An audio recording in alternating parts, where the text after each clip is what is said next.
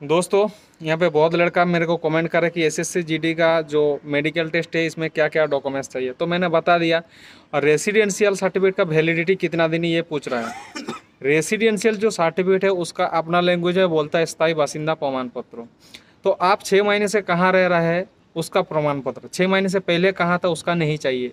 तो इसीलिए उसका एक जो बनाता है ना रेसिडेंशियल वो छः महीने के लिए टाइम देता है। छः महीने बाद आप चेंज भी हो सकते हैं आपका एड्रेस। तो इसीलिए छः महीने के से आप कहाँ रह रहा है, उसके लिए रेसिडेंशियल कोई बोलेगा, ना, तीन साल का भी चलेगा, पाँच साल का भी छः साल का भी।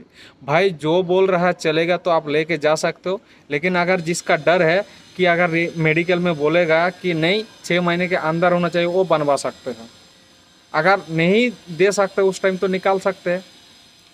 आपकी मर्ज़ी, आप क्या करोगे? निकालने के लिए आप जाओगे या आप टोटल क्लियर करके आना चाहते हो मेडिकल मेन बात है ये। तो सोच अपने ऊपर डिपेंड है, आप क्या करना चाहोगे।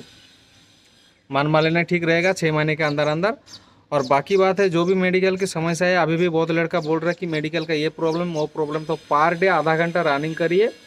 और बाकी बात है कि शरीर का जो भी समस्या है डॉक्टर दिखा के ठीक करिए। नहीं तो आपका क्या होगा, आपका ये समस्या बढ़ते जाएगा और मेडिकल में जाके फेल करोगे। मेडिकल बहुत रफ एंड टफ होता है। ए टू जेड दिखा जाता है।